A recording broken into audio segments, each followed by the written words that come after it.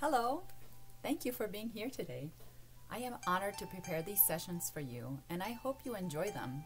Today we will be exploring some poses that are a little more challenging. I'll be building on what we learned about lunges in day 5 and warrior pose on day 11. So if you skip those days, or if this is your first day doing yoga, um, you may want to watch those sessions first. But of course, as usual, I will try to accommodate um, giving modifications. Okay, let's get started. Let's start in mountain pose. Relax your shoulders but engage your core by gently drawing your belly button in to support the lower back. Take a big breath in and out. Continue with Yahweh breathing, finding your rhythm as we open in prayer. Dear Heavenly King, thank you for bringing us to this time and place. Help us find a deeper connection with you through this practice. May we be enlightened by the wisdom of the Holy Spirit, and may we be filled with the goodness of Jesus in everything we think, say, and do. Give us patience, O Lord, and help us live out the prayer, Thy will be done. We pray in the name of Jesus. Amen. In the name of the Father, and of the Son, and of the Holy Spirit. Amen. We begin this practice with sun salutations again, being fully aware of every breath you take, energizing your body with the Holy Spirit, and readying it for whatever comes your way today. A reading from the letter of Paul to the Philippians. Join with others in being imitators of me, brothers and sisters, and observe those who thus conduct themselves according to the model you have in us. For many, as I have often told you, and now tell you even in tears, conduct themselves as enemies of the cross of Christ. Their end is destruction. Their God is their stomach. Their glory is in their shame. Their minds are occupied with earthly things. But our citizenship is in heaven, and from it we also await a Savior, the Lord Jesus Christ. He will change our lowly body to conform with His glorified body by the power that enables Him also to bring all things into subjection to Himself. Therefore, my brothers and sisters, whom I love and long for, my joy and crown, in this way stand firm in the Lord. The word of the Lord. Thanks be to God. On your next breath, find your way to tabletop. Get comfy again in this position, wagging a bit and doing a cow cat cycle for uh, about two. Warming up your center. Be sure to have your shoulders on top of your hands and spread those fingers, gripping the mat ever so gently to support the wrists.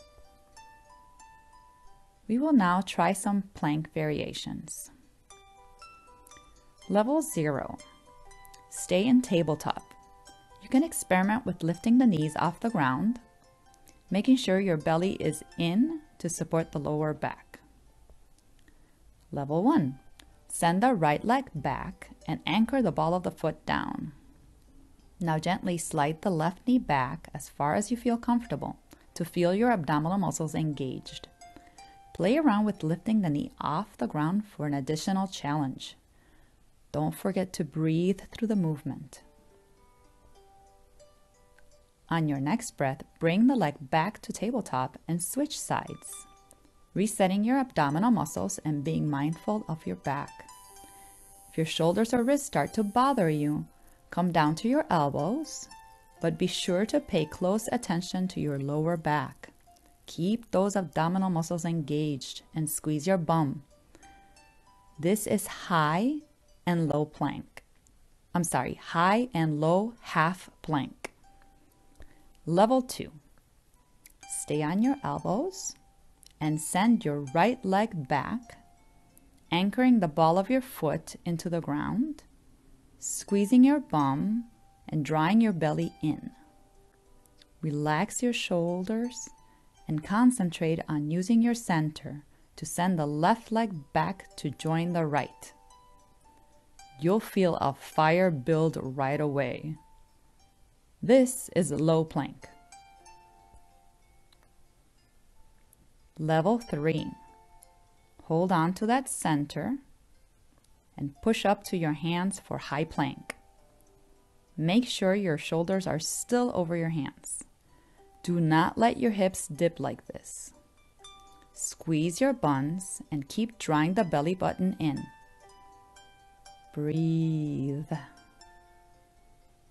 Settle yourself in whatever plank variation you choose and find that rhythm in your breathing.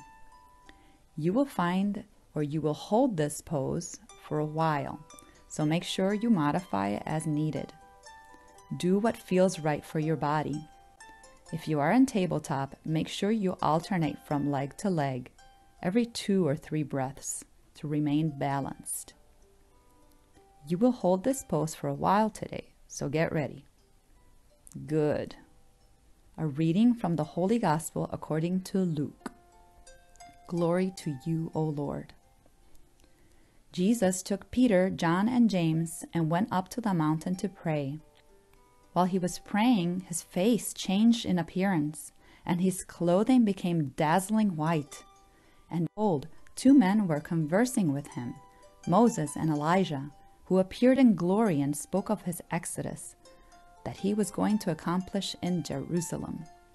Peter and his companions had been overcome by sleep, but becoming fully awake, they saw his glory and the two men standing with him. As they were about to part from him, Peter said to Jesus, Master, it is good that we are here. Let us make three tents one for you, one for Moses, and one for Elijah.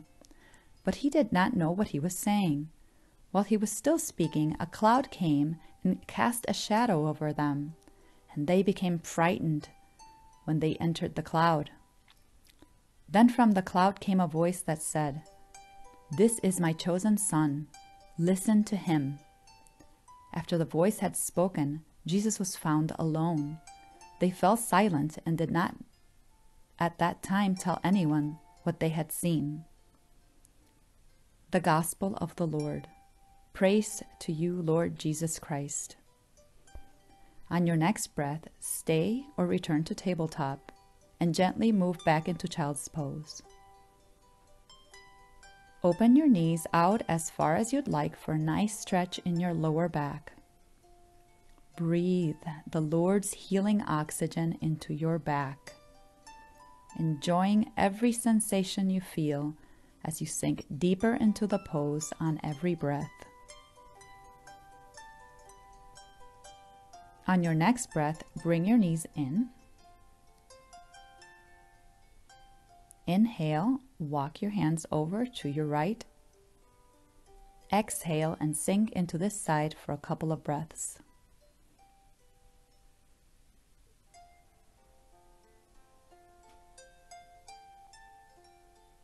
On your next inhale, crawl back to the center. Exhale here in the center. Relax your shoulders away from your ears. Inhale, crawl over to your left. Exhale, stay here for a couple of breaths.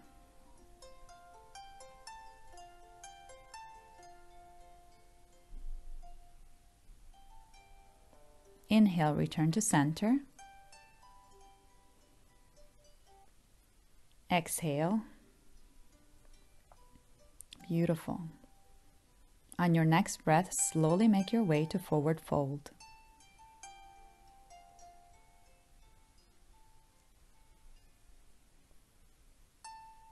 Inhale, reach up to heaven. Exhale through heart center. Excellent. Today's joyful movement is inspired by Psalm 27. As we perform the movements to the words recited, meditate on how the Transfiguration Gospel relates to this psalm. The Lord is my light and my salvation. Whom should I fear? The Lord is my life's refuge. Of whom should I be afraid? Hear, O Lord, the sound of my call Have pity on me and answer me. Of you my heart speaks, you my glance seeks. Your presence, O Lord, I seek. Hide not your face from me. Do not in anger repel your servant. You are my helper. Cast me not off. I believe that I shall see the bounty of the Lord in the land of the living. Wait for the Lord with courage. Be stout hearted and wait for the Lord. The Lord is my light and my salvation. Thank you for being here with me today. The challenge for today is to be courageous in your faith. Do not use the Lord's name in vain and gently correct those who do. I used to do it all the time. OMG, OMG, OMG. It's become ingrained in our language culture. That's before I realized it's a commandment. Don't worry about annoying people. Better them to be annoyed for their own good than to annoy God. We owe Him everything, so the least we can do is honor His holy name. Let's close in prayer. Lord, we praise you and we glorify you, for you are great and you shower us with blessings. Have mercy on those who need it the most as we ask for thy will to be done. In your holy name we pray. Amen. In the name of the Father, and of the Son, and of the Holy Spirit. Amen.